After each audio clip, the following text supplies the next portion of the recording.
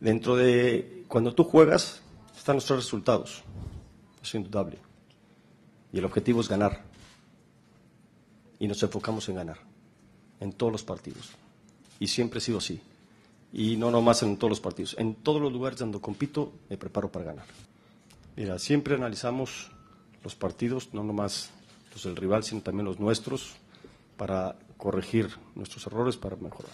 Eso lo hemos estado comentando.